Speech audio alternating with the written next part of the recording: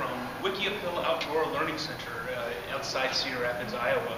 Wickiup is this little nature exhibit with this nice little building that's showing all sorts of nature in its glory. We like this little display. There's all sorts of stuff to see here inside the building. But we are here today for one reason, to celebrate a local geocacher's accomplishment in receiving the Geocacher of the Month, a program that Groundspeak started up a couple years ago to celebrate uh, outstanding geocachers. Um, the, local geocacher's name is The Weasel. Let's go see if we can get an interview with him. So here we are. This is uh, the uh, geocacher of the month, uh, The Weasel, uh, full name Tim Stewart. So how does it feel to be the uh, geocacher of the month? Uh, it feels pretty good. Uh, I consider it more of a, an honor for Iowa.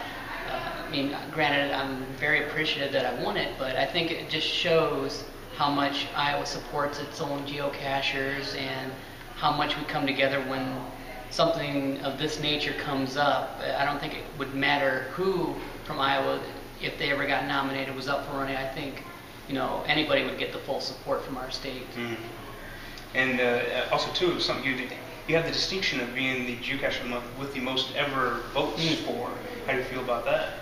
Um, I honestly I didn't expect that many votes. I think it came down to since you know both sides were getting. It's not. I don't think it's because you know I had all these people. It was because both me and the Raven, who I'm actually wearing the shirt, very nice guy, gave me this shirt.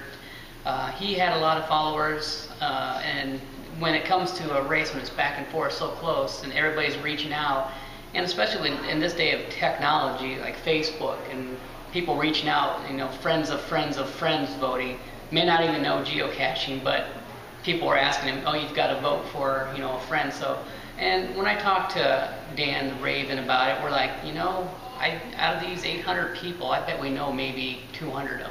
And so, Uh, that is something. So, quite a humble guy. I think do very. Uh, uh, the award is very uh, fitting for this uh, for this geocacher, and uh, congratulations, sir. thank you. And in case uh, you all wanted to know why, something I'm always curious about is why people chose their geocaching handles. Tim, why did you choose the weasel? Um, well, it's not because I'm short or I look like a weasel. Uh, I've actually had that nickname for probably about 30, 35 years. Uh, my dad kind of gave it to me because uh, when I was younger, I was always getting into things, cupboards, whatever. And he, what are you doing, you little weasel? Get out of there, get out of this and get out of that, because I was getting into things. And so he gave that to me, and it uh, kind of stuck. And uh, even actually gave my daughter, who's seven, a nickname when she was born. And started calling her Possum, so I just started calling her Possum. So we got a weasel and we got a possum. That's cool. That's cool. We also happened to come across the guy who nominated the weasel for the geocacher of the month. We have uh, Jeff Goodson here. Hi, uh, Josh. the Super Goober. Hi. Um, uh, first, I want to ask you, what makes the geocacher of the month, and why Tim is the uh, geocacher of the month in your eyes? I think the key to the geocacher of the month is not somebody that's really good at geocaching. Personally, that, that doesn't that, does, that doesn't matter. It's not the best geocacher because he's found so many and all that. It's more about the person that's given back and what this person's given back. Has this person put out some really good hides? Is this person given back to the caching community by maybe teaching classes or doing other things, uh, organizing events at other uh, public relations parks? And it's basically how much that person gives back. And fortunately, Iowa people are very good about giving back. Okay, and I asked Tim too, and I'll ask you, why Super Goober? Or um, uh, is I'm interested why people uh, choose their geocaching handles, and is Okay. I actually, this name was created back in 1998 when I created my uh, eBay password. I tried to create a password that said Goober. It was taken, so it was Super Goober. Simple. That's it, yeah. Thank you, Jeff. Thank you. Long story short, back in April, actually April 7th of 2007, I got a, I got an email from somebody, and he said, "Hey, I noticed you've been finding some caches on the well, thank you. Noticed you've been finding some caches on the old Creamery Nature Trail. just west of Benton. Do you mind if I join you tomorrow? I'm like, sure. Well, come to find out, this person was the Weasel, Tim Stewart.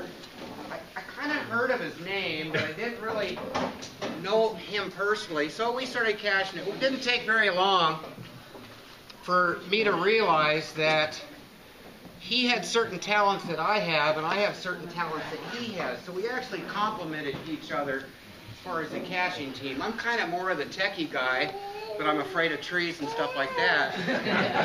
and he's not. He's not afraid of anything.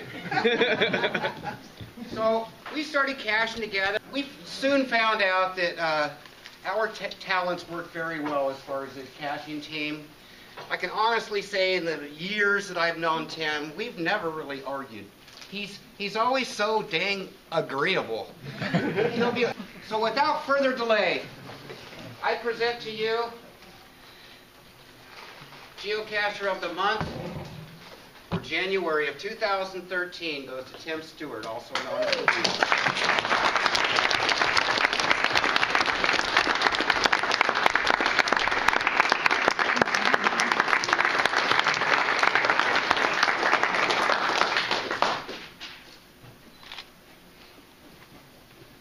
I mean, I gotta say something now? The floor's all yours. Oh. You know how much I love doing that. I want to thank everybody that took the time to post comments, show up here today. Uh, I've talked to, made friends with. If it wasn't for everybody here, those that couldn't make it but still supported me, I, you know, I wouldn't be standing up here with this award. Uh, it, it's not really an award for me. I mean, yeah, it has my name on it, but I think it shows a bigger uh, picture of what Iowa is and how we support everybody.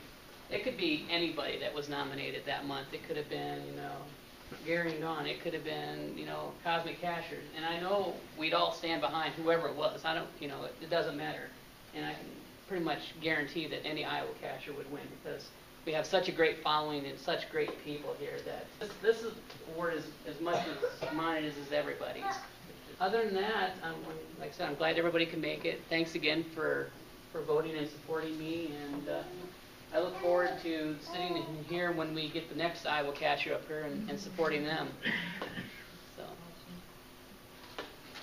um, I don't know, Liz, do you or uh, Jim have anything you guys want to say for IGO? Anything needs to be- I'd like to. Come on up, The floor is yours.